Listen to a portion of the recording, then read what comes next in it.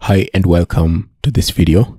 In this video, let's see how you can install the PSI secure browser on Debian. Specifically, I will be using Debian 12. So if, if you don't want to use Ubuntu, you can always use Debian for the PSI browser exam session. So on your PSI scheduling page, where you've already scheduled an exam, there will be a button for launch tutorial.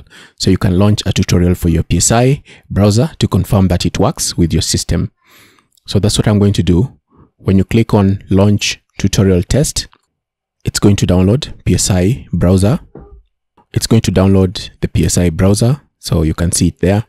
Save, save, and then let's go and open it. So where it is, where it's downloaded, you can extract it. And I can just extract it here, extract here. And there it is, open that and double click on this. So when you double click on this, it will start the installation process. If it's already installed, you can uninstall it. So just leave this on here. When you're about to start your exam, you can uninstall it by just coming back to the same folder and then double clicking and you'll see an option for uninstalling and I'm going to do that at the end of the video just to show you what I mean. So just double click on it and it's going to start the installation. Agree. It's going to download the actual browser.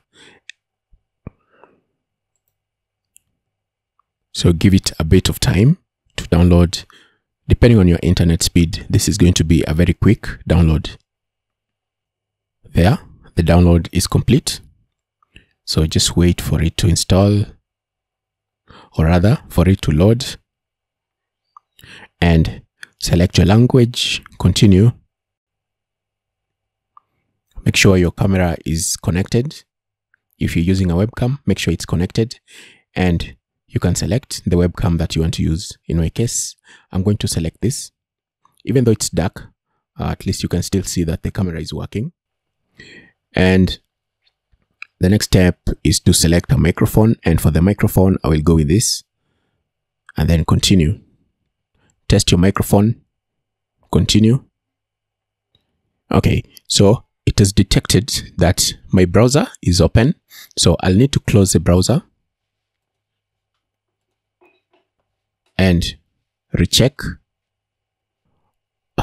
so simple screen recorder is also not allowed, but there's nothing I can do. So I can't go any further than this because I still need to record. But you can continue. The next step is just for you to go through what you'll expect, like your ID, like seeing where you'll seeing where you'll take a snapshot of your ID, then take the sample tests just for some of the regulations for the PSI Proctor session.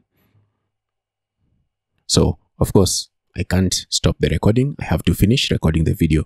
But this is basically how you'd install PSI Secure Browser on Debian 12. I'm just going to click on Quit.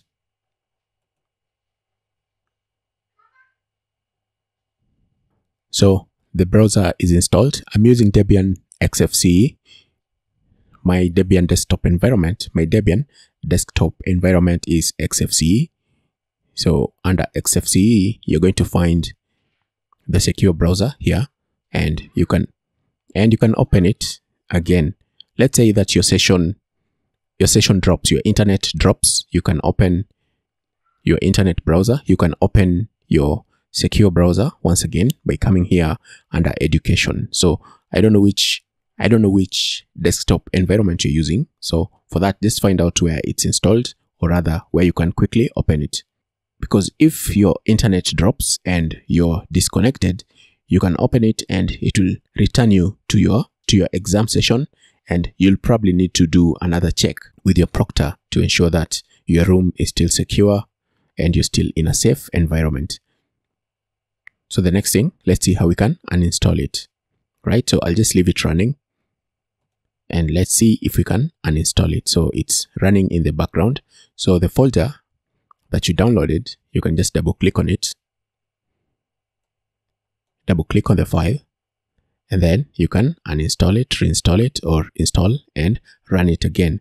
But usually they recommend that before you start your exam, especially if you did a test like this, if you did a test environment like this, you should uninstall it.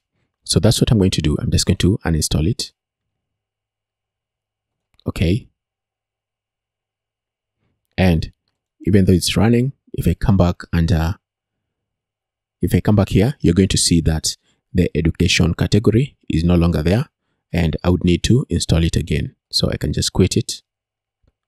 And if I need to install it, I can just double click on it again, or rather double click on the latest version that you downloaded. All right. So you can delete this once you download a new one and extract it and open the file. All right. And then you can continue with the installation process. So I hope this helps you in case you're wondering whether you can use the PSI secure browser on Debian. Yes, this is Debian 12 with XFCE and I've used it successfully in the past. So that's why I wanted to share that with you. And that's it. Until next time, if you have any questions pertaining to this, of course, you can contact your, your exam provider support. It could be the Linux Foundation or whichever exam you're taking. You can also contact the PSI support if you have any questions related to your exam or the exam browser. All right, that's it.